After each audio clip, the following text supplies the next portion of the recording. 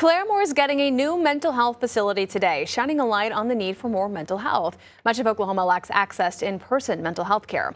2 News Oklahoma's Douglas Braff is in the studio with us this morning, and he has more. Douglas.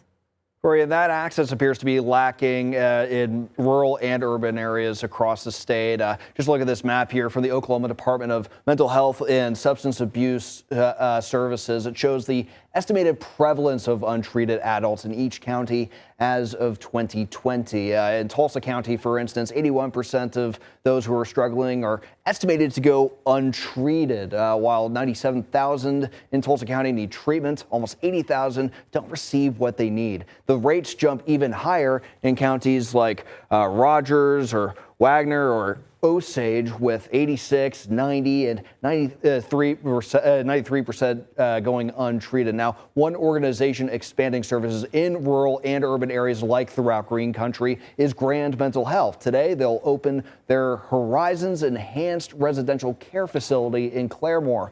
This will provide 24-7 live-in treatment for up to 22 patients who need more assistance or services than they could can get at home. Grand's Crisis Services Director tells 2 News. The COVID 19 pandemic raised awareness of mental health and the need for more access to its services.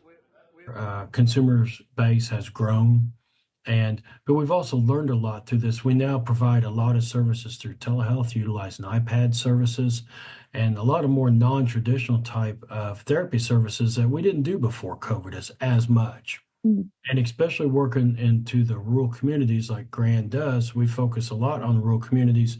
We're able to reach people that couldn't get mental health services in the past.